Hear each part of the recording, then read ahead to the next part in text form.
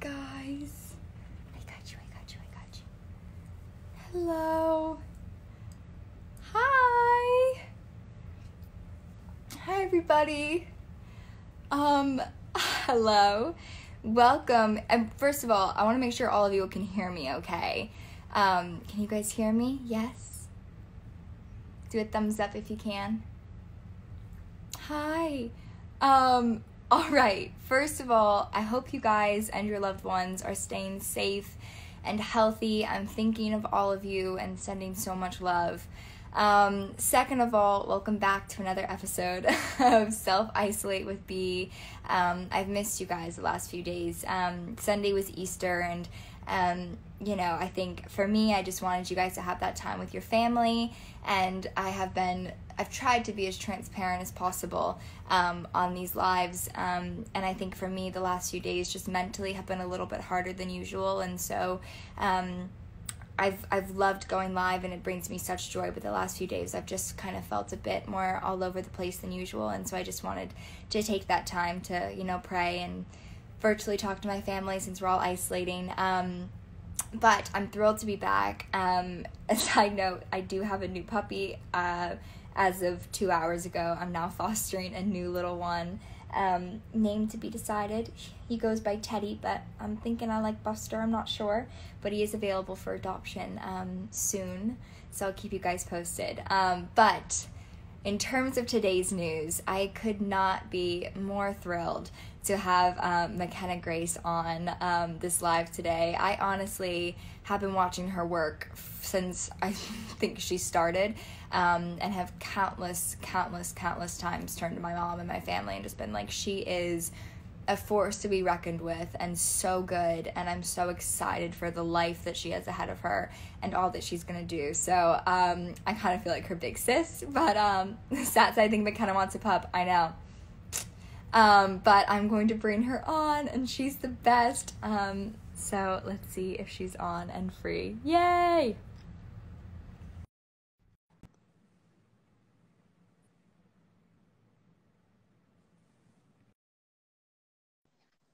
Oh my god! I love your dog so much. do you love It's so tiny. i know it's He's so little. like kind of asleep right now but hold on i know That is the cutest thing I've ever seen. I know. We'll FaceTime after this so you can like properly, properly, properly meet him. But I'm Oh like, gosh. I'm obsessed. I'm obsessed. but so small. It's so, so, so small. Um, Oh my first gosh. of all, I love the lights on the back and the Polaroids. Thank you. I just Second got of them. all, your hair looks beautiful. I look like such a Thank mess. you. No, I washed my hair for like first time in forever yesterday. So Well, you know what's funny is like because we always have stuff on our hair for work. Like Mm-hmm. it probably is so good that you're not touching it. Like in quarantine, it's probably going to be so much healthier because we like it's been growing out. on it all the time. Yes, exactly. Yes, it feels like every time throughout my life, my hair's been finally growing out. Everybody's just like chopped it off again. So this has been so much fun. Oh, Wait, hold on. What'd you say? You froze. You're back now. Oh, um, like every time it starts to grow out, people just chop it off again. I So know. now it's like I can finally put it in a ponytail. oh, that's so good. That's so good. Um, you'll get like me, I feel like at one point, which is because my hair has always had to change. I'm now never comfortable with what it is. Like I wake up and I'm like, it needs to be cut, and then the next day I'm like, I just wish I had longer hair. it's so back and forth, but um, I'm so happy that you're doing this. And I I'm was so happy. texting with your mom, who I love so much, and um, and she was like, yes, for sure. Like, and I was like, okay, I'm so happy because I love you. yeah, I, Um, I love you. I'm so excited because like I feel like forever, like I've always like looked up and watched your work and stuff. But like I feel like you and Shirley Temple are like the two child actresses that I looked up to throughout my career, and so it's like so exciting. Oh my like finally I like cry. Well, do I will. I will turn the tables around and say to you that I remember when I saw you in in Gifted. Sorry, was that so loud? When I saw you in Gifted, I turned to my mom and I was like, "I want to be McKenna when I grow up." Like I literally said that because you're so good and and you genuinely like you remind me so much of myself, a better version of myself for sure, a way better version. But like, there's so many qualities about you that I was like, I was like, I just want to be her friend and like be like her big sis if she wants one. I remember I said that to your mom. I was like, I just love her so much and she's so good, and I I'm just so excited for you. Um, but I thought we could answer some questions. Um, and they usually type them in. Um, the question box lately has been like making the lives freeze, um, which has been a little bit stressful for me. So instead of the Sorry. question box, oh no, no, you're good. Instead of the I'm gonna wipe box, off the guys, camera because this is my mom's phone and it has like a bit of stuff on the camera. Okay, that's better. I um, do you want to see how how funny my setup is? Look, it's a light and a water bottle. I'm like, this is as like non fancy as it gets. I mean, I'm just sitting here with my phone stand Wait, and I have some great. rice cake. Oh, that's I love rice cakes. I love rice cakes. Um, okay, let's see. Someone said Love Hill House. Okay, hold on, let's see. Um, all right, we'll start easy. Those are better for me. What is the last movie you watched? I don't even know. Oh, I do know. I just watched Notting Hill for the first time. You need to see that movie. You would love it. I haven't heard of it before. It's Julia Roberts and um, uh, Hugh Grant. I want to say maybe watch me butcher that. And it's about this actress who like falls in love with this guy in London, and That's cool. you'll love it. You should watch it with your mom.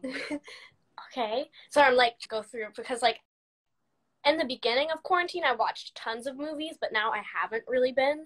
I've just like been watching cooking shows at night. Uh, That's what I love cooking. Wait, what cooking shows? Um. Well, um, I've been watching Zumbo's Just Desserts every night Okay. with a friend, and then like um, I have also been watching the Final Table Plate. I'm not sure, but it's like where they get together like a bunch of really amazing chefs and stuff. Oh, that's really cool. have you um have you ever watched Chopped? I feel. I feel like that's the one that I watch whenever I'm in hotels. Yes, that is what you watch. and I know that's what you watch because that's what I used to watch in hotels because it's always on. Um, we need to get you watch. Oh yes. Oh, sorry. My mom was like, "You just watched Black Panther," and I was like, "Yes, Oh, okay, yes. yes, I just started. Black Panther." um, I haven't seen it yet. Isn't that crazy? I know. I I didn't get all the way through it because I had to go to bed. I know. Well, I get that. I um, I said to my friend the other day. Um, she's my best friend Paige. I've known her since I was like 7 Um, and she called me, and I always call her like throughout the day. She's always like, you know, kind of working out or whatever. At midnight is when she decides that she wants to talk. But at like 9:30 for me is like I'm ready for bed. So the other night I called her and I was like, honestly, you need to call me before midnight if you want me to like absorb anything that you're saying. So That's I- hilarious. Somebody I've been talking with, like, it, how we've been talking every night at like midnight. The Yeah. just the past two days, I've been trying to get on a schedule because throughout quarantine, Me I've too. been up till like 3 a.m. every night, and it's been so bad. I've been sleeping in till like 3 p.m. it's intense. and so like I've just been trying to get on a schedule, get in bed at 11, go Yeah. to bed by 12. That's good. That's that's kind of honestly that's what I'm on. So you're killing. You're doing great. Although I think my schedule is going to be a little different now with this guy. I think uh, I think he might be waking me up. Um, okay, let's see. Let's see. Um, okay, this is a cute one. So, um, you were once upon a time. Yes. I was. So were you. Um, so maybe we can. Do you have a memory from there that you would want? And I'll share a memory from mine too. Is there like a Yes. moment that you remember? I do remember a moment. Okay. Hold on. I love you so much. Hold on, I have to get something. Okay, here we go. I have Dee Dee, and I snuck, and I and I got him into a bit of an episode. I feel like once. You you get Dee Dee in a lot. I do. Dee Dee should have a SAG card. He has an IMDb. Somebody made an IMDb for him, and it's just made my whole quarantine so much better. That is incredible. Honestly, Dee Dee so happy. should. Like Designated Survivor, wasn't Dee Dee in that too? Yes, he's been in like I loved you on that show. I see. I'm everything. A. I loved that show. Such a good show. Thank you. Oh. Um, yeah, I think you for sure probably got. I mean, 100% Dee Dee was in there. That's amazing. Yes. um, I'm trying to think. I um. Okay, I guess I guess there's two.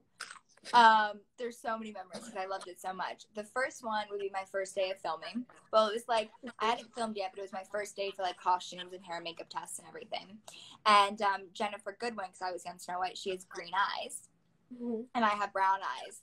Um, and so I had two different colored contact lenses in, and we were trying to match which one, and they just weren't sure based off of photos.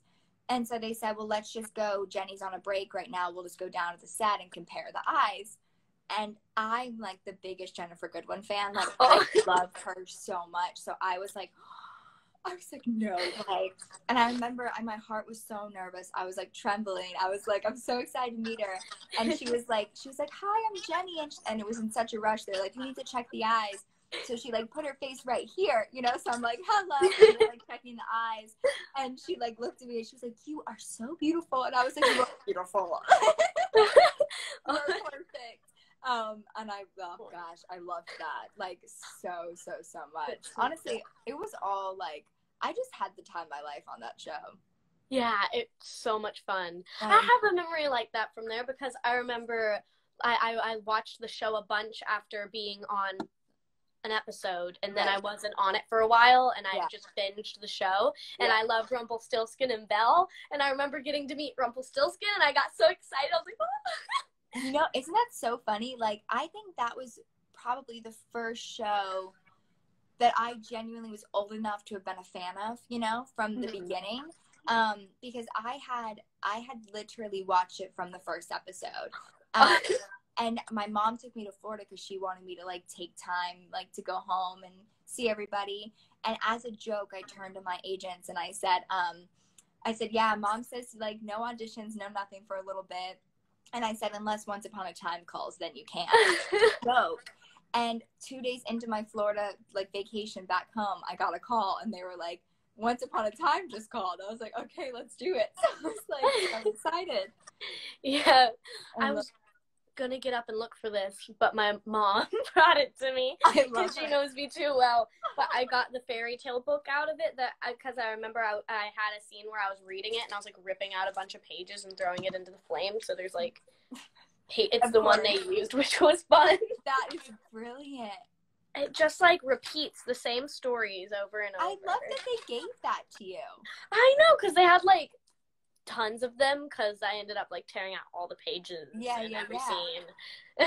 Oh, that is amazing. I um I need to like I need to do you find that you're able to take stuff usually from sets?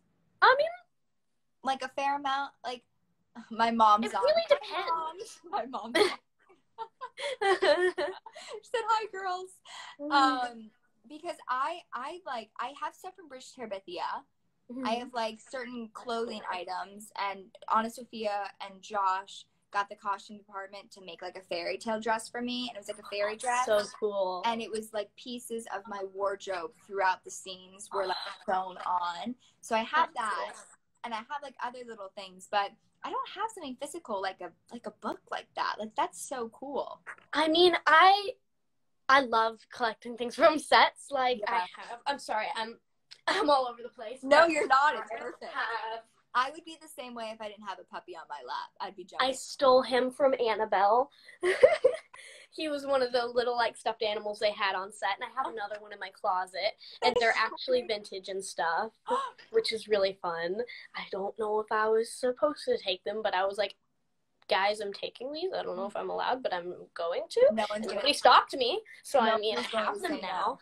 And I have my glasses off of Ghostbusters, and admit that. I have the ones without lenses. That's Probably good. shouldn't have told it. In your in your mind, you have them. You might not actually have. Them. Yeah, them. I don't actually have them. And what you want, you meant what you wanted to take was those glasses. Yes, that. but you exactly just couldn't. It's a shame.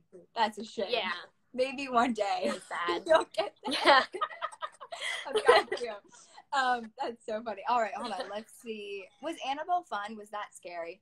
Oh, it was so much fun. Um, it wasn't really that scary to me. I because like my Right, whole life I've been watching fun. horror movies, Yeah. uh, and my dad and I love horror movies, and I've been watching them since I was like seven for some reason. yeah. And I mean, I was just really excited to get to do like a horror movie where I was like one of the main people in it because I haven't really done that before, and I was so excited. Yeah. And it was fun because the man who played our demon was very, very nice. And he's so tall. So, you know, you just have this really nice guy dressed up in demon prosthetics sitting there sipping a cup of tea. And that so was that's really how, fun. that's how it was for strangers because there's these three people hmm and i remember at the beginning of filming um christina hendricks played my mom and she was like one of the first the first scene basically that we had filmed was when like dollface is coming in to basically kill the both of us Mhm.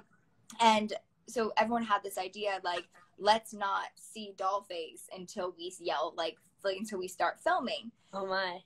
so we went through all these like precautions to like make sure that we didn't see her Oh gosh. up coming out in rehearsal with the mask on and we think that she's filming. So like christina gives it her all. Like it's incredible. And then we realize at the end of it we're like oh that was rehearsal. Why did she have the mask on. And from that moment on i was like you know what? Like i don't even care. Like and it was so funny. She went from the first day trying to like keep it a secret to the last week of filming. It was literally like he would have an axe the guy who played the man in the mask covered in blood and I'd be like, "How are your kids?" And he was like, "Oh God, I miss them so much. They're good." and he just had these hilarious. normal conversations, and Mhm. it's so funny. But I Yeah. feel like, I feel like you and I are similar with, like, if we have to scream or cry or run, we love it. Like, oh my gosh, it's so much fun. Yeah, It's my favorite scenes to do. Me too. I it's like so fun. I don't know why. scream. yeah, just something about it. It's so fun because, like, you know, you got to use your inside voice and stuff, but it's just fun to get to just scream for no apparent so reason. I know. It's very therapeutic. Very It, therapeutic. it is.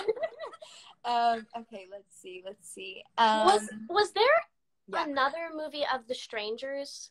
Yeah, there was so ours Okay. was the sequel to the one with Liv Tyler. Okay, I've seen Yeah. the first one. Okay, because I was like, wait, I didn't know that she was in that. No, yeah, so this was the sequel to it. So it's the same Cool. masked idea, just a different family. Uh-huh. Oh, um, but that was the first time that I was really able to. I think it's one of, if not the most favorite thing I've ever done. Like the most fun thing. I, I had just Yeah. loved it. Um, but it was the first time I did like all my own stunts. So it was like jumping out of like cars on fire and me crawling underneath it and like the Oh, stuff that I feel like you would love to. oh yes.